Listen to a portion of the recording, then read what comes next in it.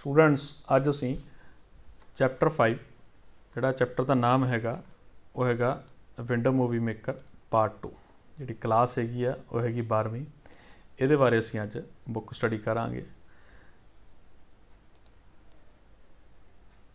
Part 1 ਦੇ ਵਿੱਚ ਅਸੀਂ ਇਹ ਚੀਜ਼ ਦੇਖੀ ਸੀ ਕਿ ਮੇਨ ਬੇਸਿਕ ਇੰਟਰਫੇਸ ਕਿਦਾਂ ਦਾ, ਉਹਦੇ ਵਿੱਚ ਫਾਈਲਾਂ ਜਿਹੜੀਆਂ ਇੰਪੋਰਟ ਕਰਨੀਆਂ ਨੇ ਵੀਡੀਓ ਆਡੀਓ ਸਟੋਰੀ ਬੋਰਡ ਇਸ ਦੇ ਵਿੱਚ ਥੋੜੀਆਂ ਐਡਵਾਂਸ ਚੀਜ਼ਾਂ ਕਿ ਟਾਈਮ ਲਾਈਨ ਜਾਂ ਇਫੈਕਟ ਅਸੀਂ ਕਿਵੇਂ ਲਾਉਣੇ ਨੇ।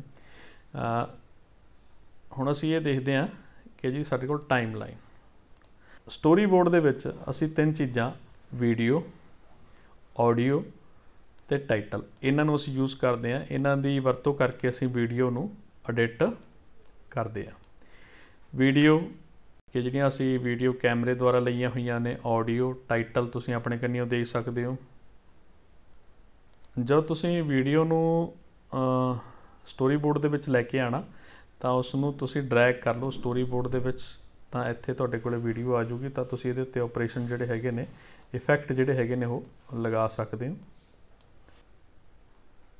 ਸਟੋਰੀ ਬੋਰਡ ਦੇ ਵਿੱਚ ਅਗਰ ਤੁਸੀਂ ਸਪਲਿਟ ਕਰਨਾ ਚਾਹੁੰਦੇ ਹੋ, ਤਾਂ ਜਿਹੜੀ ਲਾਈਨ ਹੈਗੀ ਆ, ਜਿੱਥੇ ਵੀ ਤੁਸੀਂ ਇਹ ਲਾਈਨ ਕਰੰਟ ਪੋਜੀਸ਼ਨ ਹੈਗੀ ਆ ਲਾਈਨ ਦੀ, ਉੱਥੇ ਰੱਖ ਕੇ ਤੁਸੀਂ ਸਪਲਿਟ ਬਟਨ ਦੇ ਉੱਤੇ ਕਲਿੱਕ ਕਰੋਗੇ, ਤਾਂ ਉਹਨੇ ਉਸ ਪੁਆਇੰਟ ਤੋਂ ਕੀ ਹੋ ਜਾਣਾ ਸਪਲਿਟ ਹੋ ਜਾਣਾ। ਉਹ ਜਿਹੜੀ ਵੀਡੀਓ ਹੈਗੀ ਆ ਦੋ ਹਿੱਸਿਆਂ ਦੇ ਵਿੱਚ ਸਪਲਿਟ ਹੋ ਜਾਏਗੀ। ਇੱਕ ਹਿੱਸਾ ਇਹ ਆ ਗਿਆ ਜੀ ਤੇ ਦੂਜਾ ਹਿੱਸਾ ਇਹ ਆ ਗਿਆ। ਇੱਥੇ ਤੁਸੀਂ ਜਿਹੜੀ ਕਲਿੱਪ ਹੈਗੀ ਆ, ਉਹਦੀ ਟ੍ਰਿਮਿੰਗ ਵੀ ਕਰ ਸਕਦੇ ਹੋ। ਤੁਸੀਂ ਮੰਨ ਲਓ ਵੀ ਜਿਹੜੀ ਹੈਗੀ ਆ ਉਹਨੂੰ ਵੀਡੀਓ ਹੈਗੀ ਆ, ਉਹਨੂੰ ਦੀ ਲੈਂਥ ਨੂੰ ਤੁਸੀਂ ਐਡਜਸਟ ਕਰਨਾ, ਤਾਂ ਤੁਸੀਂ ਇਸ ਨੂੰ ਯੂਜ਼ ਕਰ ਸਕਦੇ ਹੋ ਟ੍ਰਿਮਿੰਗ ਦੇ ਨਾਲ। ਤਾਂ ਸਿੰਪਲ ਜਿਹੜੀ ਵੀਡੀਓ ਹੈਗੀ ਆ, ਉਸ ਨੂੰ ਤੁਸੀਂ ਡਰੈਗ ਕਰ ਲਓ। ਤਾਂ ਤੁਹਾਡੇ ਕੋਲ ਉਹ ਟ੍ਰਿਮਿੰਗ ਦੇ ਵਿੱਚ ਆ ਜਾਏਗੀ। ਇਹ ਸਾਰੇ ਸਟੈਪ ਨੇ ਕਿ ਤੁਸੀਂ ਟ੍ਰਿਮਿੰਗ ਕਿਵੇਂ ਪਰਫਾਰਮ ਕਰਨੀ ਹੈ?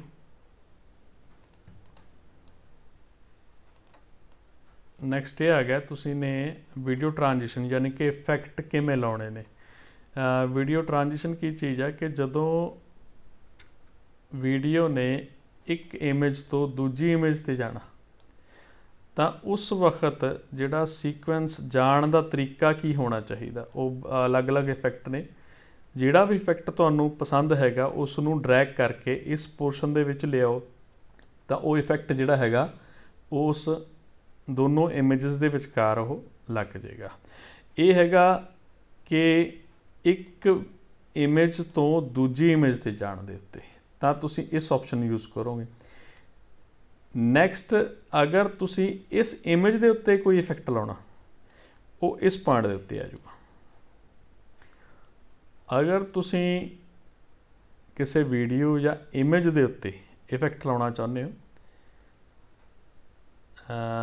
ਫੋਰ ਐਗਜ਼ਾਮਪਲ ਤੁਸੀਂ ਉਹਦੀ ਬ੍ਰਾਈਟਨੈਸ ਇਨਕਰੀਜ਼ ਕਰਨਾ ਚਾਹੁੰਦੇ ਹੋ ਜਾਂ ਈਜ਼ ਆਊਟ ਕਰਨਾ ਚਾਹੁੰਦੇ ਹੋ, ਤਾਂ ਇਸ ਇਫੈਕਟ ਨੂੰ ਚੱਕ ਕੇ ਉਸ ਇਮੇਜ ਦੇ ਇਸ ਪੋਰਸ਼ਨ ਦੇ ਵਿੱਚ ਡਰੈਗ ਕਰ ਦਿਓ। ਤਾਂ ਇਸ ਇਮੇਜ ਦੇ ਉੱਤੇ ਜਾਂ ਇਸ ਵੀਡੀਓ ਦੇ ਉੱਤੇ ਜਿਹੜਾ ਹੈਗਾ ਉਹ ਇਫੈਕਟ ਅਪਲਾਈ ਹੋ ਜਾਊਗਾ। ਇੱਥੇ ਮੇਨਲੀ ਧਿਆਨ ਰੱਖਣ ਯੋਗ ਜਿਹੜੀ ਗੱਲ ਹੈਗੀ ਆ, ਉਹ ਹੈਗੀ ਆ ਵੀ ਅਗਰ ਤੁਸੀਂ ਇੱਕ ਇਮੇਜ ਤੋਂ ਦੂਜੀ ਇਮੇਜ ਤੇ ਜਾਣਾ, ਤਾਂ ਇਸ ਪੋਰਸ਼ਨ ਦੇ ਵਿੱਚ ਇਫੈਕਟ ਨੂੰ ਲਾਉਣਾ ਪਏਗਾ। ਅਗਰ ਤੁਸੀਂ ਇੱਕ ਵੀਡੀਓ ਜਾਂ ਇਮੇਜ ਦੇ ਉੱਤੇ ਲਾਉਣਾ, ਤਾਂ ਇਸ ਪੋਰਸ਼ਨ ਦੇ ਵਿੱਚ ਉਹਨੂੰ ਡਰੈਗ ਕਰਕੇ ਰੱਖਣਾ ਪਏਗਾ। ਟੈਕਸਟ ਜਿਹੜਾ ਹੈਗਾ, ਅਗਰ ਤੁਸੀਂ ਕੋਈ ਟੈਕਸਟ ਜਾਂ ਟਾਈਟਲ ਦੇਣਾ ਚਾਹੁੰਦੇ ਹੋ, ਆਪਣੀ ਮੂਵੀ ਦੇ ਵਿੱਚ, ਤਾਂ ਉਹਦੇ ਲਈ ਇਹ ਆਪਸ਼ਨਸ ਨੇ। ਬਿਗਨਿੰਗ ਦੇ ਵਿੱਚ ਕੋਈ ਟਾਈਟਲ ਐਡ ਕਰਨਾ ਚਾਹੁੰਦੇ ਹੋ, ਤਾਂ ਇਸ ਆਪਸ਼ਨ ਨੂੰ ਸਿਲੈਕਟ ਕਰੋ। ਜੋ ਵੀ ਤੁਸੀਂ ਟਾਈਟਲ ਜਾਂ ਸਬ ਟਾਈਟਲ ਦੇਣਾ ਚਾਹੁੰਦੇ ਹੋ, ਤਾਂ ਤੁਸੀਂ ਉਸ ਨੂੰ ਇਸ ਪੁਆਇੰਟ ਦੇ ਉੱਤੇ ਟਾਈਪ ਕਰ ਦਿਓ ਤੇ ਉਸ ਤੋਂ ਜਦੋਂ ਵੀ ਅਪਲਾਈ ਕਰੋਗੇ, ਤਾਂ ਉਹ ਇਸ ਟਾਈਪ ਫਾਰਮ ਦੇ ਵਿੱਚ ਆ ਕੇ ਜਿਹੜਾ ਹੈਗਾ ਉਹ ਅਪਲਾਈ ਹੋ ਜਾਏਗਾ। ਇਹ 'ਚ ਤੁਸੀਂ ਐਨੀਮੇਸ਼ਨਸ ਵੀ ਦੇ ਸਕਦੇ ਹੋ ਟਾਈਟਲ ਐਨੀਮੇਸ਼ਨਸ ਵੀ ਨੇ। ਉਹਨਾਂ ਨੂੰ ਵੀ ਤੁਸੀਂ ਸਿਲੈਕਟ ਕਰ ਸਕਦੇ ਹੋ ਵੀ ਕਿੱਦਾਂ ਦੇ ਐਨੀਮੇਸ਼ਨਸ ਅਸੀਂ ਉਸ ਟਾਈਟਲ ਦੇ ਵਿੱਚ ਅਪਲਾਈ ਕਰਨੇ ਨੇ।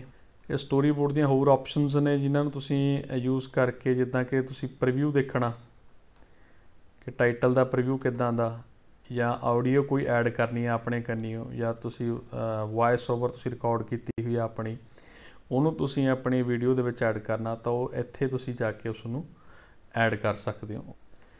ਆਡੀਓ ਅਗਰ ਤੁਸੀਂ ਐਡਿਟ ਕਰਨੀ ਹੈ ਉਹਦਾ ਵੋਲਿਊਮ ਲੈਵਲ ਇਨਕਰੀਜ਼ ਜਾਂ ਡਿਕਰੀਜ਼ ਕਰਨਾ, ਉਹਦੇ ਲਈ ਆਪਸ਼ਨਸ ਹੈਗੀ ਆ ਆਡੀਓ ਕਲਿੱਪ ਵੋਲਿਊਮ ਇਸ ਲੈਵਲ ਤੋਂ ਜਾ ਕੇ ਤੁਸੀਂ ਉਹਦਾ ਜਿਹੜਾ ਹੈਗਾ ਵੋਲਿਊਮ ਹੈਗਾ, ਉਹ ਘਟਾ ਵਧਾ ਸਕਦੇ ਹੋ। Rendering this is the final process ਕਿ ਜਦੋਂ ਤੁਸੀਂ ਸਾਰੇ ਇਫੈਕਟ ਲਗਾ ਲਏ, ਤੇ ਤੁਸੀਂ ਨੇ ਇੱਕ ਫਾਈਨਲ ਵੀਡੀਓ ਜਿਹੜੀ ਹੈਗੀ ਆ, ਉਹਨੂੰ ਸੇਵ ਕਰਨਾ।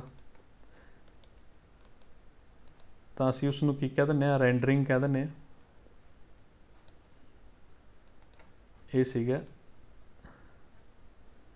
ਕਿ ਤੁਸੀਂ ਉਹਨੂੰ ਵੇਖ ਲਿਆ ਐਡਿਟ ਕਰ ਲਿਆ, ਤਾਂ ਹੁਣ ਉਹਨੂੰ ਅਸੀਂ ਫਾਈਨਲ ਜਿਹੜਾ ਹੈਗਾ ਮੂਵੀ ਨੂੰ ਸੇਵ ਕਰਨਾ। ਤਾਂ ਉਹਦੇ ਲਈ ਜੋ ਤੁਸੀਂ ਫਿਨਿਸ਼ ਮੂਵੀ ਕਰਦੇ ਹੋ ਤਾਂ ਇਦਾਂ ਦੀ ਤੁਹਾਡੇ ਕੋਲ ਵਿੰਡੋ ਓਪਨ ਹੋ ਜਾਂਦੀ ਹੈ। ਇਹਦੇ ਵਿੱਚ ਆਪਸ਼ਨ ਸਿਲੈਕਟ ਕਰੋ ਕਿ ਤੁਹਾਨੂੰ ਜਿਹੜੀ ਹੈਗੀ ਆ ਆਊਟਪੁੱਟ ਫਾਈਲ ਦਾ ਸਾਈਜ਼ ਕੀ ਆ, ਕਿੱਦਾਂ ਦੀ ਤੁਹਾਨੂੰ ਉਹ ਆਊਟਪੁੱਟ ਚਾਹੀਦੀ ਹੈ, ਕਿਹੜੇ ਫਾਰਮੈਟ ਦੇ ਵਿੱਚ ਚਾਹੀਦੀ ਹੈ। ਉਹਨੂੰ ਸਿਲੈਕਟ ਕਰਕੇ ਜਿਵੇਂ ਹੀ ਤੁਸੀਂ ਨੈਕਸਟ ਦੇ ਉੱਤੇ ਕਲਿੱਕ ਕਰੋਗੇ, ਤਾਂ ਉਹ ਜਿਹੜੀ ਹੈਗਾ ਮੂਵੀ ਨੂੰ ਫਾਈਨਲਾਈਜ਼ ਕਰਨਾ ਸ਼ੁਰੂ ਕਰ ਦੇਵੇਗਾ।